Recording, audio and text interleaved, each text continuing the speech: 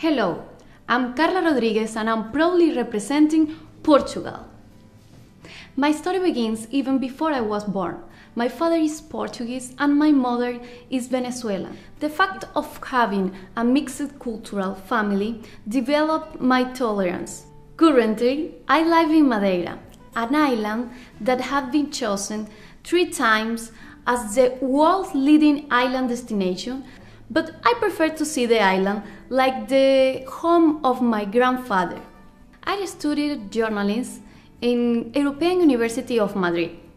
I like to communicate, but when I became an adult, I saw that there are many vulnerable groups in society and I want to be the voice for their rights their thoughts.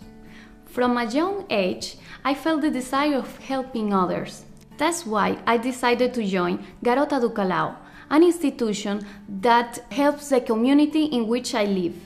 And I'm really happy of having these new friends that support me, that uh, give me good advices for life and affection.